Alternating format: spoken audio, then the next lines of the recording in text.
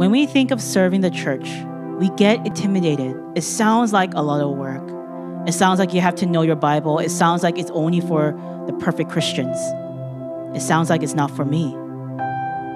When we think of Jesus' ministry and who he called to serve with him, he didn't call on the rich. He didn't call on the people who had a perfect family. He didn't even call on the religious leaders who knew God's word front and back. He called upon the unqualified. He had called upon the weak. He called upon the broken. He called upon the ordinary. Throughout the Bible, God used the most unexpected people to do extraordinary things in His name. And the only qualification they had was God, that God was with me. You see, serving the church is not about how well we are in our lives. Serving the church is a response to the gospel that we believe to be true. It is a gospel truth of our Redeemer who used the broken and the unqualified to do the amazing things in his name. And I believe God is going to do extraordinary things here in the junior high ministry.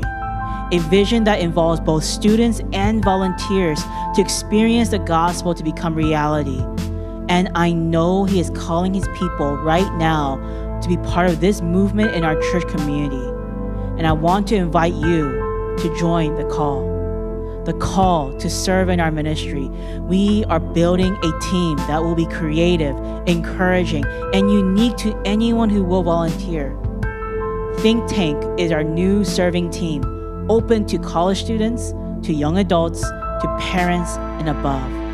In Think Tank, you'll be working alongside me in prayer and preparation of wonderful events for our junior hires.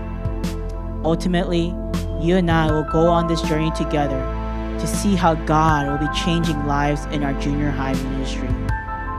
We are looking for people who can join in the vision I have for the ministry and help make it happen. We're looking for people who can make the ideas we have into reality.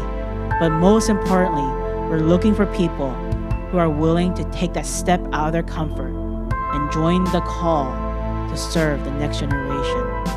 So, will you join me? Jesus is calling all of us to be part of building his church.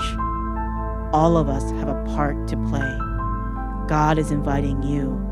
So, my question is will you? Will you join the call?